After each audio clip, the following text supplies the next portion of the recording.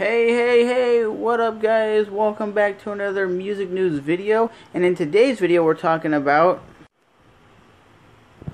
Machine Head has released a clip from their new up and coming live DVD which is titled 10 Ton Hammer.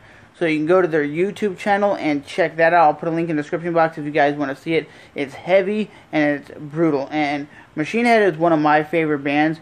They're always been aggressive, always been heavy, and one thing I like about that band is they actually keep in contact with their fans because on their YouTube channel they do live streams they do Facebook live streams, YouTube live streams, and they vlog. And that's a cool thing to see a band at that caliber actually vlogging and showing some behind the scenes footage of them in like Tokyo, them in Korea, and them just having a great time being a metal band. And they're in their 50s and they're taking the platforms of YouTube and vlogging and making it something that is cool. It's not like a typical vlog you would see where somebody is like documenting them and they're just doing like behind the scenes like a band DVD. No, these dudes are legitimately holding the camera like this and saying, "Hey, what's up, guys? Welcome to Singapore, and we're gonna be playing tonight at the Hoover Dam uh, Arena here in Singapore.